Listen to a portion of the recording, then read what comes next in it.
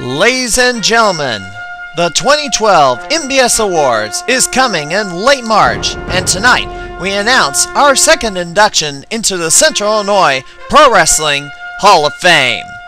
The promoter of Next Generation Wrestling and the wrestling personality known as the Callous Corey Carter will be inducted at NGW's The Last Hurrah on March 30th by Bobby the Business Houston.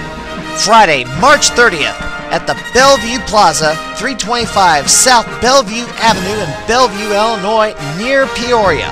For ticket information, go to tinyurl.com slash ngw event. Come join us on Friday, March the 30th for the final Next Generation Wrestling event ever, The Last Hurrah as we honor the man who helped make NGW one of the top promotions in Central Illinois Pro Wrestling.